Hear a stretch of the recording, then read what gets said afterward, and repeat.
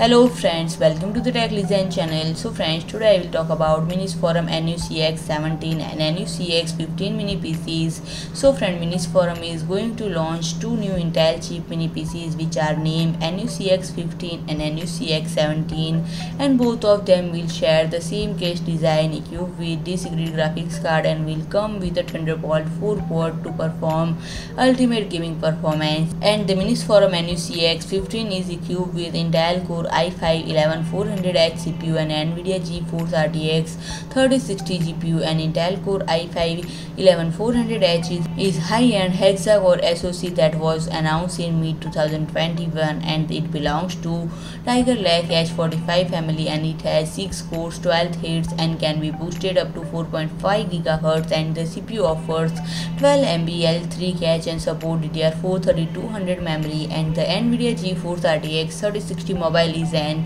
NVIDIA graphics card that was announced in 2021 and friend the other one Minisforum NUCX 17 uses even more powerful CPU and GPU which is Intel Core i7-11800H and NVIDIA GeForce RTX 3070 and friend the CPU is high-end octa-core SoC that was announced in mid-2021 and it has 8 cores and 16 threads that can be boosted up to 4.6 GHz and CPU offers 24 MB of level 3 cache and supports DDR4 3200 memory and the NVIDIA GeForce RTX 3070 mobile was announced in 2021 and it also offers 8 GB of GDDR6 graphics memory with 256-bit memory bus and friend they support totally up to 64 GB of DDR4 dual channel memory and they have 2 M.2 2280 PCIe slot for storage expansion and can be connected to two monitor at the same time using HDMI and one Thunderbolt 4 port and friend. It will be comes with Windows 11 Pro. Pre-installed so friend if you like my video please do like share and comment.